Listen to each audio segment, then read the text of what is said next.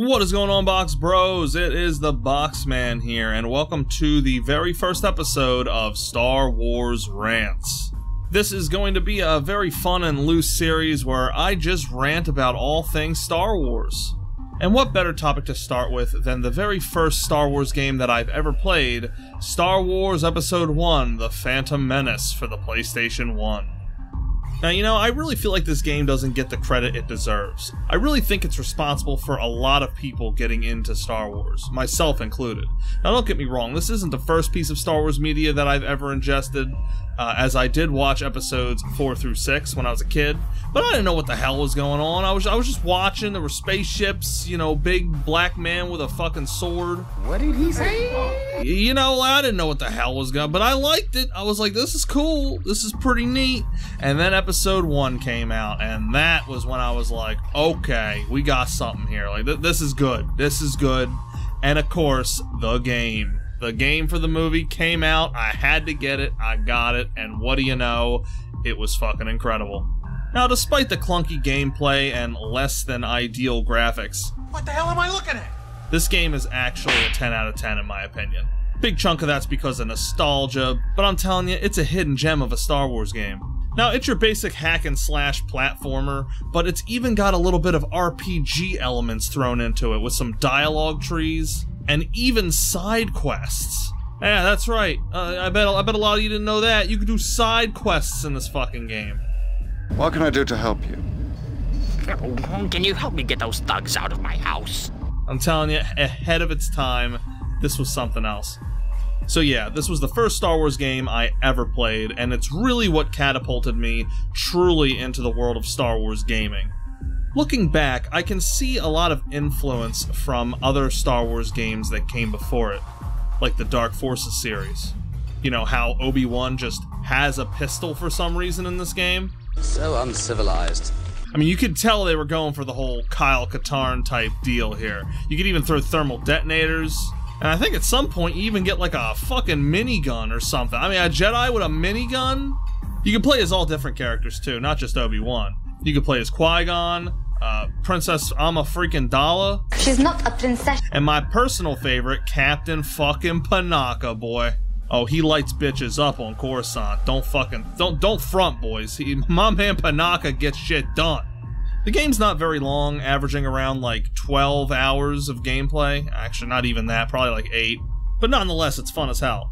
There were some levels that were pretty much like sandbox. You could just go around and do whatever the hell you want. Well, not entirely whatever you want. Uh, sometimes, if you went a little too off script, they would uh, hit you with one of these.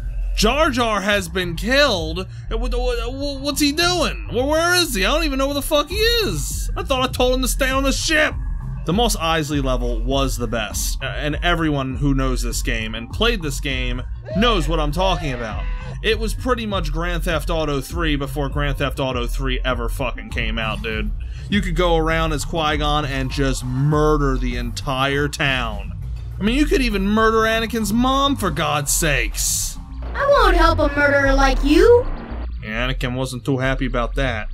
Eventually, you would get overwhelmed by the guards and, and killed, but it was just so much fun seeing just how far you could get killing everybody in Mos Espa. You could also do it in the Gungan level, but it wasn't quite as fun. And those Gungans really don't mess around. They could take quite a few hits, let me tell you. Oh my god, stop, he's already dead! And Jar Jar's just a class act in this game. He really takes the reins in the second level, guides you through the swamp, you know? I wish you could play as Jar Jar. Now that would have been fucking cool, guys. Can, can you imagine running around Mos Espa as Jar Jar with a pistol? Somebody's got to do a mod, you know? This is also one of the only games in existence where you can actually kill children. Kind of fucked up, honestly, but you could do it. Uh, again, you can even kill fucking Anakin as well. Aside from the deadly massacres you can go on in this game, some of the best features were the unique FMV cutscenes that they would play in between levels. Now, you see, they could have went the real cheap route like most movie-based video games did back in the day and just showed scenes from the movie itself. But you know LucasArts always goes one step above. They did custom FMVs that are of course directly based on scenes from the movie, but I just think it's really neat how they just went all out and and and made these custom CGI effects for the game.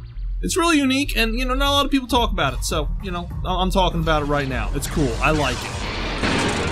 Oh, my robot asshole meat. Now, I've been talking this game up quite a bit in the last couple minutes, but it's not quite as perfect uh, as I'm making it out to be. I know I said 10 out of 10, but if I had to critique it, here's the issues.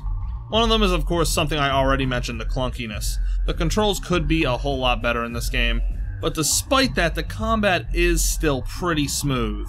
And it's so satisfying deflecting blaster bolts back at people. Oh my god! You see, I can't even I can't even try to be negative about this game without talking it up some more. It's just, it's just so great. But another big problem is the AI. The AI in this game is re uh, um very not smart. Very not smart. You're stepping on my dress. I mean, I can't tell you how many times Padme just runs off, gets herself killed on the Theed level, and then you gotta start all over again. Of course, not every level is there an escort mission or something where you gotta rely on the AI, but whenever it does come up, it's pretty damn annoying. And like I said, those dreaded text boxes where the AIs just go off and get killed for some reason are the worst. It really restricts you on like what you can do. Like what's the point of making a game kind of like a sandbox on some levels, where then if you go too far into the sandbox you get punished for it? Now, this is a game where you can save at any point, which is pretty fucking cool, and you should definitely use that to your advantage. Like, literally, the only reason I had to start all over levels again was because I just forgot to save. but, this can cause problems, as many times as a kid I would save right before one of those dreaded text boxes would appear, and yeah, I would soft lock my entire save file. I can't tell you how many times I had to start over an entire level just because of this. This game literally taught me to have multiple save files so I would never run into this problem again. Another big issue is kind of with the RPG elements. This is more of a nitpick, but it's kind of pointless. Like, whatever you pick in these options, it, it really doesn't matter for the most part.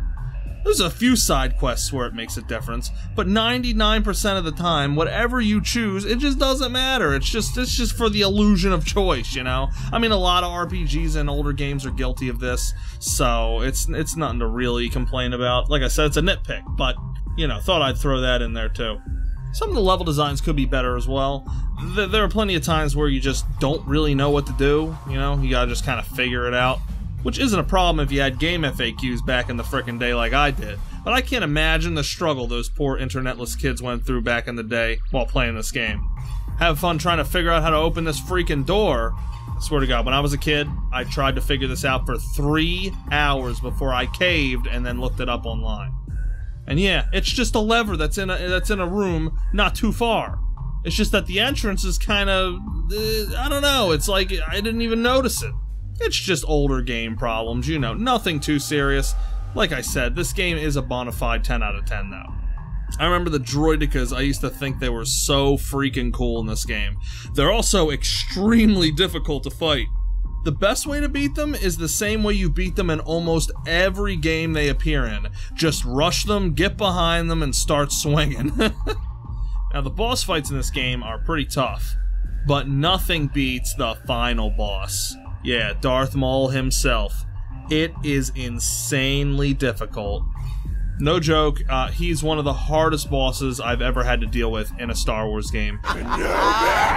Go back, guys, and see my live stream series of this game. It's actually one of the first live stream series I ever did. Series? Is that really a fucking word, Ragebox? Anyway, one of the first I ever did, and I had to use a crazy cheese method to beat him. How did that hit me? Wait, no, I was behind cover. It was nuts. And I almost soft locked myself in the level too because I was in a position where he kept killing me over and over again if I peeked my head out in a certain way. So I had to jump and shoot him. Oh my god, it was terrible, guys. I had to keep jumping and keep shooting in order to. And eventually, it took a long time, but eventually I beat him. Uh, but I saved right before that, so I had like no other choice but to do that. It was either that or restart the whole level, and I was like, no fucking way I'm doing that. So it's just you can literally go watch it. It's embarrassing, but but check it out. I'll probably stream this game again for the official Star Wars Wednesdays, you know, because back then it wasn't Star Wars Wednesdays. I was just streaming it. Actually, I think it was for PlayStation Saturdays. Now that might have even been before PlayStation Saturdays. I don't know. Either way, Darth Maul's hard as hell. He, he's no joke. And, and you know what? He's no joke in just about any Phantom Menace game he's in. Because in Jedi Power Battles, I almost lost my frickin' shit fighting him. Even Roger couldn't beat his ass. So yeah, don't underestimate this game because it will give you a good challenge. But all in all, I love this game. It's it's always going to hold a special place in my heart, boys. One more thing I gotta comment on is is just one of the funniest things that, that ever happened to me in this game. And again, it's in the stream series, so you can go watch it. But it's just it's it, it's the funky dialogue like this that really makes this game such a gem. So as you're leaving Mos Espa uh, as Qui Gon, you know, at the end, you get the, you get the hyperdrive. You tell you tell Watto to go fuck off, and then and then you leave in with the kid that you kidnapped into your cultish order. You know, you're leaving. Everybody's saying goodbye. You can like literally go up to people, click on them, and they say like goodbye. And throughout the uh, the level of Mos Espa, th- there's always been this guy, this fucking guy. And every time you click on him, he says this. I want nothing to do with you! Like, geez, buddy, like he really just don't want nothing to do with us. That's okay. You know, I respect it. I mean, I did go on a massacre many, many times in this level, so I mean, can you blame him? But he's there to to see you off, like with everybody else waving goodbye. I mean, he's not waving goodbye, but he's there. So I'm like, oh, did he did he turn over a new leaf? Does he like me now suddenly? I click on him and I want nothing to do with you! okay! it's like, why is he even there to see me off then? If he still wants nothing to do with me. I don't know. I just, I found it to be so freaking funny, dude. and it's just, it's, it's the quirky dialogue like that in this game that's, it's just so, it's so good. It's so freaking good. If you haven't played this yet, guys, uh, play it. It's it's it's a hidden gem of an old school Star Wars game. Definitely does the Phantom Menace justice in my opinion. I really do think that, and, and this is this is gonna be crazy, okay? This and it's not gonna happen. But I think they should do a fucking remake of this game. Oh my god. Come on, guys. A remake of the Episode 1 Phantom Menace game. Whoo, that would be amazing. I mean, it won't ever happen, but that would be so cool, dude. Even a graphical update, like like something. That'd be that'd be cool. Just a remaster. I don't know. Anyway, there's my first rant. Uh, as you guys can tell, I'm pretty passionate about it. I mean, it's not KOTOR levels of passionate, but, but you know, it's, it's it's up there. It's up there. You know, KOTOR, that might be a, good one to do next. Yeah, that, that, could be the next rant. I don't know. You guys let me know in the comments what rant you want me to do next. Because, you know, I could talk Star Wars. I'm, if you've seen the podcast, you guys know I could talk Star Wars for hours and hours, so... Let me know below uh, what you guys want me to rant about next. And tell me if you even like this series idea. Is a little too unhinged? Is it too off the wall for you guys? Let me know below, please. You know, leave the like, guys. Just hit it. It takes less than one calorie to hit the like button, boys. It takes less than one calorie. I'm just kidding. I'm, I'm just. You, you can do whatever you want. I love you guys. All right. Until next time, the Box Man will catch y'all later.